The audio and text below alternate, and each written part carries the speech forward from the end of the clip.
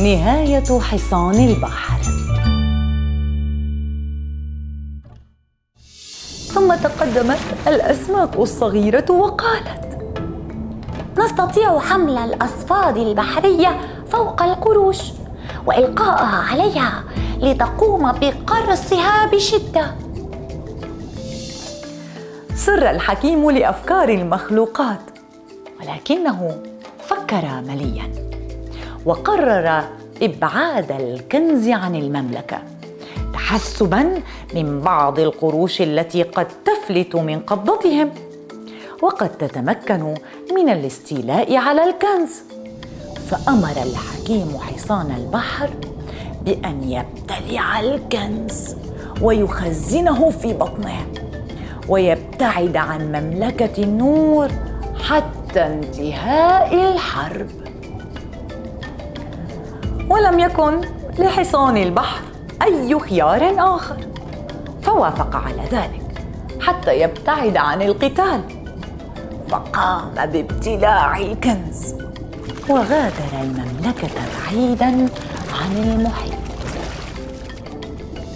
وفي اليوم التالي جاءت جيوش القروش وهالها السحاب الأسود أمامها فاضطربت وتصادمت ببعضها البعض وفر بعضها هاربا.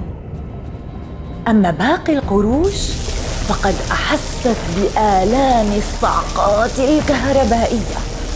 وهرب بعضها. وما تبقى منها.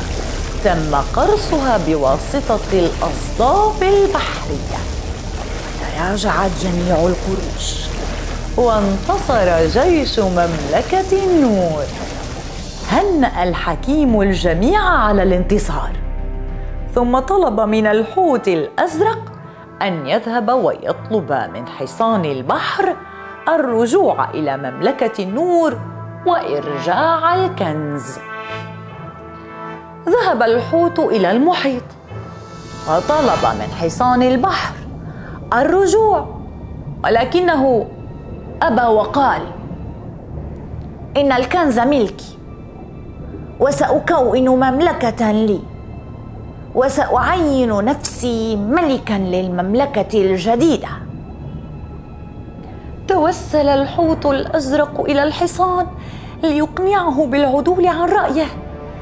وما كان من حصان البحر إلا أن غادر بعيدا وترك الحوت خائبا.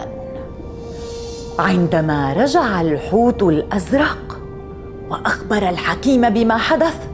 غضب الحكيم غضبا جما. وقال سوف أبعث بجيش مملكة النور معك أيها الحوت لتدلهم على الطريق ليحضروا هذا الحصان الخائن لي مكبلا بالقيود. تم القبض على حصان البحر وأعيد إلى مملكة النور. ثم أنزل الحكيم لعنته على حصان البحر بأن جعله صغيرا جدا بحيث لا يتمكن أحد من ملاحظته جزاء لخيانته. حزن الحوت الأزرق حزنا شديدا على صديقه وكان يبكي بشدة وينفث دموعه من رأسه منذ ذلك الحين. وكانت هذه الحكاية درسا لجميع المخلوقات البحرية بالأمانة وعدم الخيانة. النهاية. انتهت قصتنا لهذا اليوم. لماذا فعلت ذلك أيها الحصان الجميل؟ انظروا كم هو جميل حتى وإن كان صغيرا.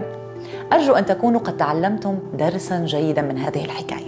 ولمتابعة المزيد من القصص لا تنسوا الاشتراك بقناة مدرسة وأيضا متابعة موقع مدرسة للمزيد والمزيد من القصص الجميلة.